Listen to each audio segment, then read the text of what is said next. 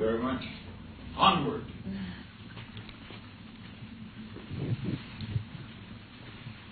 You're looking at this flower when you do it? Yeah. Yeah. That's yourself? That's a self portrait there. I had to. That is Puerto Rico, just there. Yeah. Oh, well, these were these. This was done.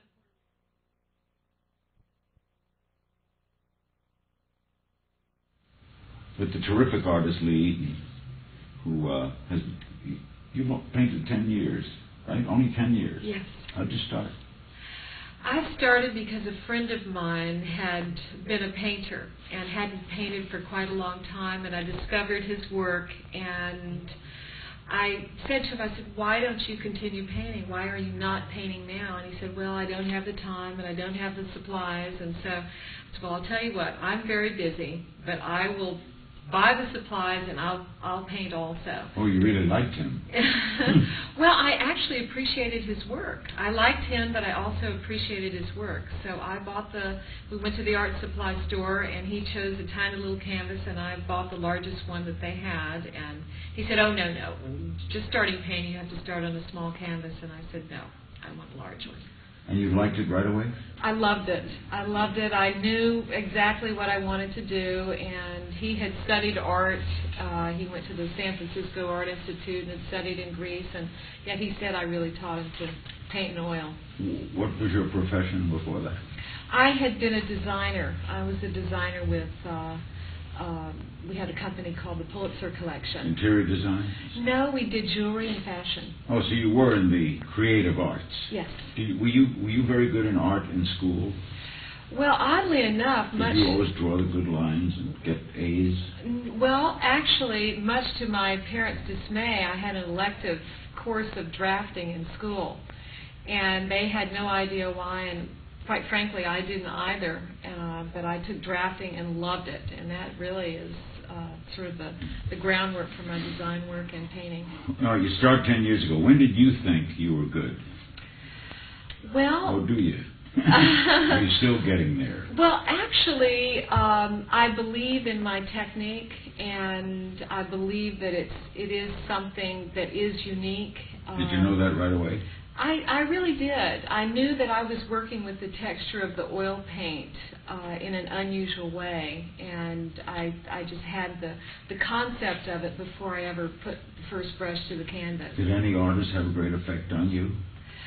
Um, not prior to my painting. I have to admit, I really had had very little in the way of, of training or training or literature or reading about them. Yeah, no, I had very little. Uh, and therefore, this is not an involvement. You were painting beautiful stuff like this from the get go. Yes, I, I still have. I retained my first painting, and um, I wasn't I wasn't as clear about my composition, but with the texture and what is now called scintillism, that I was very clear about, and it shows. What is scintillism? Scintillism is it's alla prima painting, and that's where all of the layers of the paint, the oil paint, are completely wet, and it's the first application. So I don't have time to go back and sort of let the paint dry and then change it and paint over it. I have to finish the painting in the first application while all the layers are completely wet. An actor in first take. That's exactly uh, it. And you're usually successful, or do you throw away a lot? I have. There have only been really one one incident that I can recall where I was painting someone who who I was um, involved with, and he made a comment about the painting, and I got really upset and scraped the canvas. And broke that up. And Do you mostly paint things rather than people? No, actually, I spend a lot of time uh, doing portraits as well. Um, By commission? Yes, yes, I do. I've done a number of commission paintings. Um, of course, you might have. Uh, caught some of my work during the 96 uh, convention, the Republican National Convention. Is that as fulfilling when you're hired to do something as when you do it yourself? Uh, as a matter of fact, uh, it is. I really do enjoy it very much because, I, first of all, I will not do a painting of someone who I can't relate to and appreciate. and um, and once I once I know them and appreciate their essence, then I feel that I can put it on the canvas. How soon before you sold your first? Actually, I was very fortunate because when I painted my first painting, um, I had a business at the time, and I hung the paintings in the window, and they were visible from the street. And I had people actually walking by and asking if they could buy the paintings. And shortly thereafter, I had my first exhibition. Uh, as a matter of fact, it was given by Mick Jagger's Hmm. publicist at the time. Um, And where are you sold? All over? yes, You've yes, seen I in New am. York and big Oh, cities and Yes, I am. I had my second exhibition in New York. Um, a wonderful woman by the name of Elizabeth Ives Bartholet. Um, she actually brought Cubism to America, and she gave me my second exhibition there in New York. how would you describe your work? I mean, vibrant comes to mind. Yes, uh, well, Colors. that's that's really what I want it to be. Um, it's very important for my work to be uplifting. I know that there are a lot of artists who um, have created work that that are you know much darker and have less um, vibrant energy. But that's really what my work is all about. I want to enhance the energy of, of anyone who is experiencing it. Do you know where you're going when you start? Yes. Yes, you I you got it all mapped out in your mind. This is not impromptu. Well, I do, but I've had certain occasions where I've had, um, I've really had sort of blocks in the canvas. And remember, this is a race for time when I'm painting. If any of the layers start to dry, I have to scrape it and start over. Um, so I've had certain areas of the canvas, oddly enough, that I just couldn't seem to work through, and so I had to create. I remember one painting of a garden. I had no choice other than to put a, a, a tree outside of a building because it just appeared. And hmm. later, I found out through the owners of the garden that a tree had been cut down about a year earlier in the exact same spot. That's scary. I know. I Why know. put that pressure on yourself of having to painting it on wet? It's. I'll tell you. It's to me. It's. It's just the way I create. And if the oil paint isn't as it is fresh out of the tube, then you can't manipulate it in the same way, and you can't create the uh, the textured surfaces. And I've had a lot of people tell me that even blind people can appreciate my work because they can feel it. They can feel the outlines of the subjects. Yeah, and you can. yeah. Do you uh, do you uh, paint like every day? No, I don't paint every day. Uh, once I begin a painting, I really can't stop until I finish it, and so I really have to wait until I'm just ready to to begin. Or will you might you be driving uh, in a car on a highway and get an idea? Oh, that I definitely do. do. That I definitely do, and then I'm obsessed until until I get my painting completed. And uh, once I once I have the canvas sketched, then it's finished in my mind. I just have to apply it. The biggest kick a successful painter must have, in addition to pride in her own work, must be knowing that you're in hundreds of homes, just you and that person, Yeah, or those or those families. It really that's a very shared moment. it is. It You is. got it going every day. Yes, and fortunately for me, I have uh, I've been able to get to know a lot of the people who have collected my work, and we remain in contact with one another. What do you do? You want to know who buys your, words, you'll call a gallery and find out who bought your painting. A lot, yes, yes, I do. That's one of Why? one of the because they're like my children. I want to be able to keep track of my children, and it's important for me. It really is. Why so many flowers? Well, of course, we're we're in here. Um, I actually do, aside from the portraits, I do some of the other types of work. I've started a series of mandala paintings, and they're they're mandala paintings with with modern symbolism. They're sort of inspired by the 13th and 14th century Tibetan paintings and, and different works of art. And uh, but this this you know these particular paintings have the Beautiful. Now that you are a painter, do you appreciate painting more? yes I do. look at other painters, Yes, look at the I do. now I look at the masters. Of course, I I hear a, a number of names. Uh, people say, "Oh, your work looks like this artist, and your work looks like that artist," and and I must say, uh, probably the one that stands out most in my mind and in my heart is Van Gogh's work. Um, he did some of his paintings were alla prima paintings, some of the smaller ones that he did out in the field. Uh, but most of the time, he would come back and wait until it dried and then come back in an outline with either black or darker colors. And that's one of the things that I don't do. And plus, I don't think that uh, he had the intentional texture and use the the many different brushes the way I do. So didn't have any money either.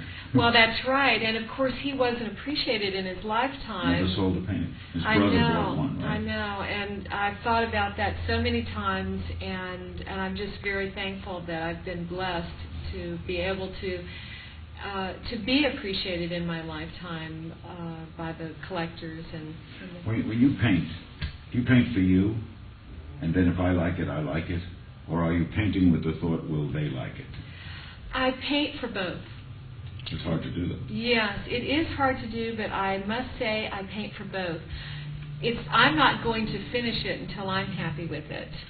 Um, but I I do keep in mind what what I know of the person and what I believe will make them happy too. It doesn't that doesn't mean that it, it changes my inspiration because I'm either inspired to paint it or I'm not. You won't paint something you don't like. No. Just if I wanted to paint me a block of uh, of uh, cubes back to back. Absolutely not. No. You can't do. Do you sculpt? No. Yes, I do. You like that? Yes, um, actually, my sculptures are a total departure from what you would imagine. Uh, they are more or less found art, and um?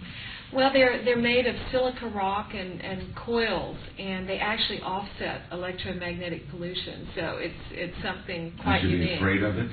No, no, absolutely not. Uh, quite the opposite. It will actually create sort of a safe space. I know you've you've heard about the harmful uh, sure. for cell phones and things like that, and you can get a little device to attach to your phone. Well, this is a sculpture that does that on a much wider scale. Do you do you ever say to yourself, I should have started sooner. Actually, no, because I believe that I had to live a certain amount of my life so that I could really put that into my work. And I think it's very, very important. So you wouldn't have been as good at 25. I don't think that I would have. Because how much of it is you? This is you, isn't this it? is me. This is me. Uh, all of it is me. All of my work is me. And uh, whether it's the paintings or the sculpture or songs or whatever it is, when it's something that I produce, it's it's me. How do painters determine prices? That fascinates me. Well, actually, um, I. Is it time put in necessarily? Well, I when I had my first exhibition, I determined the uh, prices because I actually enjoyed the paintings myself, and I wasn't going to part with them. To uh, outprice them. Yeah, so I I started actually, you know, not worrying, and not even thinking about whether they would sell or not, but just saying, well, you know, I might consider selling these paintings for this amount, and I was very fortunate because I I was uh, had a fair you amount. still do that? Well, I do, I do, but also Elizabeth Ives Bartholet, when she gave my second exhibition, uh, she was a very well-known and important appraiser for a lot of the major museums around the country, and she actually set my prices considerably higher than I You had did. priced my paintings. So. And art, of course, increases in value. Yes, yes, it does. And Is that people- kind of weird that you'll be worth more when you're gone? well, That's the truth when you can't produce. Everything Well, goes up. I know, I know this is true. I I hope that my at least my family will be able to Mhm. benefit from that because they have they've been with me. I mean, when you're an artist, there are a lot of times that you have to spend sacrificing because there are many other things that you could be doing, but you travel places and spend time and like going to Puerto Rico and spending time there to paint in the rainforest and and exploring and my family has sort of trekked Is there along a with me. favorite place to paint? Actually, I I have to say I really enjoyed the light when I was in Puerto Rico. The light in Puerto Rico. Yes, the light for painting there is just exceptional. I can understand why Gauguin in Tahiti must have enjoyed it. A lot of the paintings that uh, that we're sitting with right now were actually painted in Puerto Rico. So you see that special light that comes out, and, and I've tried in other areas like the desert, but it's just not quite the same. There seemed to be a richness there. So you never had to suffer Well, to get the image of the painter suffer. You mentioned Van Gogh, who suffered more than him. actually, um, I, well, I can't really say that I have never a struggle for you. It, you sold pretty much right away. Well, I was fortunate. I did sell pretty much right away, but I had other other things in my personal life that that uh, had me struggle and got me to the point that uh, I had the emotions and I was able to, uh, or brought me to the point where I was able to bring forth these emotions on the canvases and in my other work. So I, I feel like I've paid my dues as an artist with my life. Are you always happy when you're painting? Or not Um, necessarily. I most of the time I am, and when I'm not, it shows. Thank you, Leith. I will proud, be proud to hang you in my home. Oh, thank you I don't so mean much. literally. I mean your work. Thank you, Larry. Leith